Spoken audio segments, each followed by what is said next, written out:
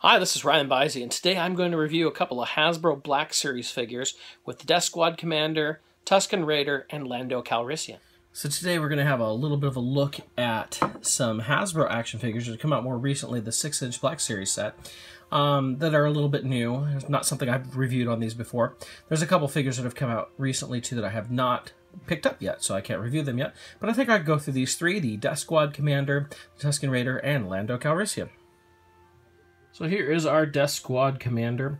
Um, you know, I never found these all that interesting as a kid with the gray uniform. Thought it was kind of a boring figure.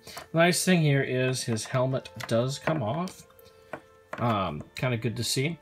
Uh, he's got a holster for his blaster, full articulation, and his costume isn't all that uh, amazing. The likeness isn't, we're not going for anybody specific. I'm assuming this is fairly generic, or maybe a Hasbro employee, who knows. Um, we got the Imperial emblem there, and the rest is just a black uniform. Nothing too exciting, but really glad to get him just because it's part of that first 12, so it's kind of cool to be able to have this and add him into the collection. So next we have Lando Calrissian here, and I know some of the early pictures I saw of him made it look like he had a really large head. It doesn't look as large in person. There's a lot of great detail on this figure I'd like to go through. I know when they debuted him at Comic-Con last year, they talked a lot about his cape. So let's break down some of the details on him here. So first, it's a decent likeness. It's not perfect of Billy Dee, but I mean, we can all imagine it's Lando.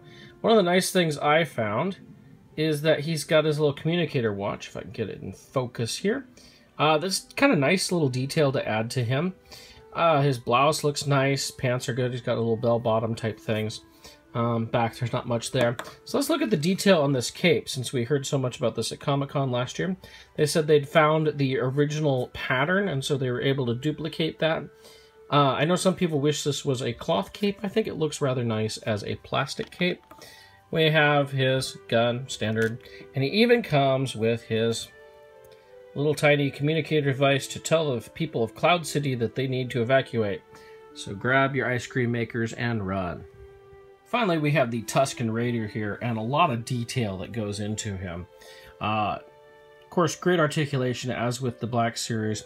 Just looking at the detail they put into him with his outer cloth robes, it's frayed around the back and everything. Um, in the package, it's actually tucked into the plastic robes that are underneath here. Uh, very well done figure. Take a look at the um, sculpt here on the face. And it comes with some different accessories. We have his rifle, and then we have two different ends that we can add to his gaffi stick. So you can have all the different gaffi sticks that, the, that there are to be made. Um, this is an awesome figure. I could see people wanting to uh, troop build him or whatever. Uh, it's definitely a cool figure. I'm glad that they're re-releasing this in the regular Black Series boxes. So that's my look at a couple of Black Series figures from Hasbro. If you have any questions, please put them below, and you can always leave your comments about what else you would like to see me review. Got a couple more reviews coming here if you're interested, but feel free to leave in the comments, and feel free to subscribe to my channels. I will continue to do reviews, especially with the new product upcoming. Thank you.